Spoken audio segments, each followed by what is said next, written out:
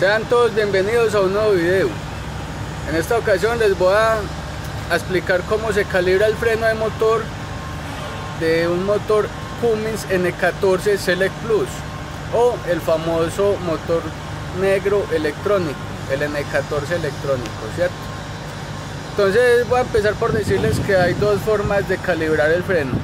El primero, la primera forma que es la forma técnica, que es girando las poleas del drive, buscando las marcas A, B y C.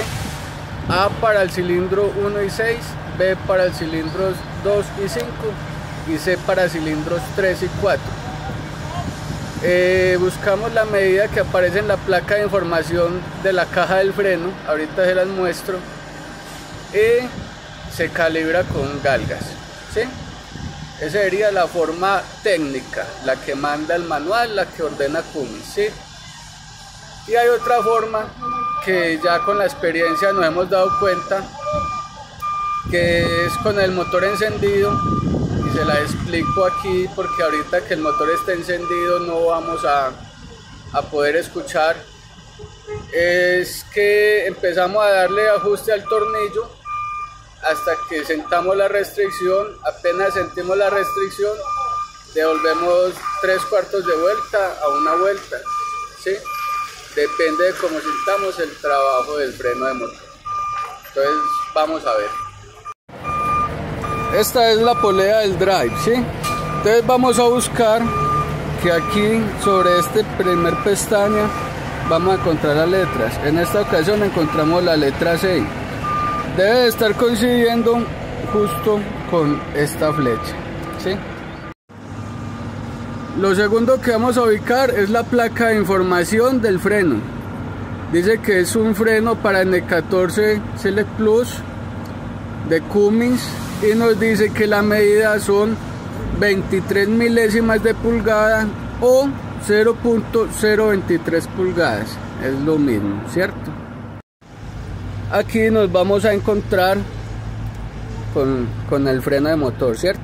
Tenemos la solenoide o la electroválvula de control, es la que recibe la señal eléctrica y ordena presión de aceite hacia los pistones maestros. Tenemos tornillos de calibre, dos, uno para el 3 y uno para el 4, así serían en todos los frenos. Y tenemos el descargue del aceite. Eso es lo que vemos por acá encima. Entonces ¿dónde vamos a poner la laina? en el tornillo de ajuste al final de la carrera sobre el caballete de las válvulas de escape. Allí y allí. ¿sí? eso es para el método técnico. Entonces una galga de 23 milésimas de pulgada para hacer esta esta operación.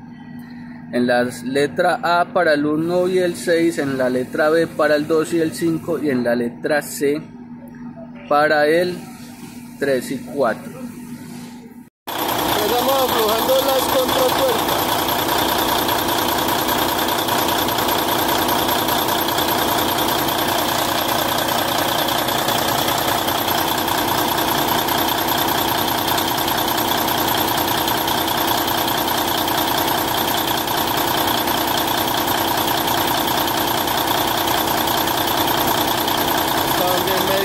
Restricción, gradúan el punto cero que quede bien definido y ahí devuelven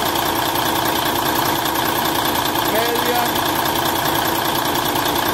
y un cuartico más. Bueno mis amigos, espero que les haya gustado y sobre todo que les haya servido el tutorial. Nos vemos en una próxima ocasión. No olvide darle like y suscribirse a mi canal. Hablamos pues.